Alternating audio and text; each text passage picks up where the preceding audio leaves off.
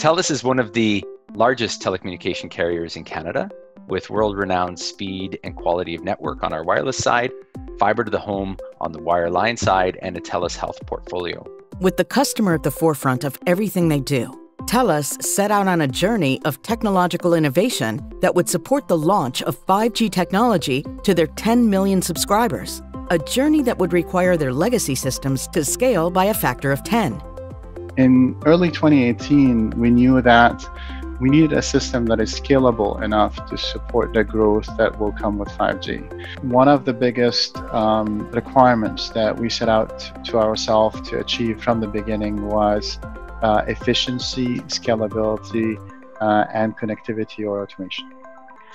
We were specifically looking to take our workflow management to the next level using technology like AI, using APIs, and even in some cases interfacing with legacy platforms using RPA. Appian was one of the very few platforms that support bots and AI from day one that give us a huge potential in improving on efficiency.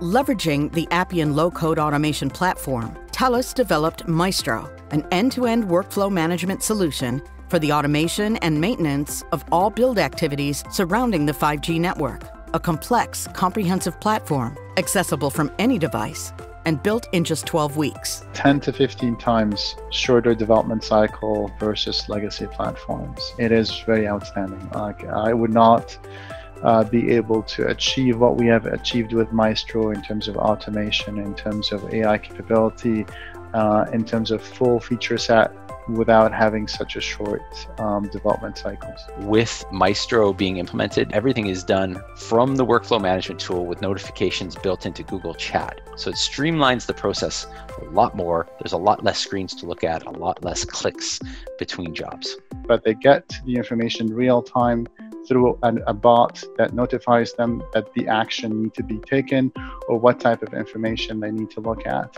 And that eliminated almost 20,000 different emails. We're seeing a lot less aggravation, a lot more um, satisfaction with day-to-day work. It's it's fantastic. It's not a tool. It's a platform where you can create application and tools in. And the fact that it's uh, the development piece is simplified to such a degree frees us up to do more um, and be more creative on what we can do in the future.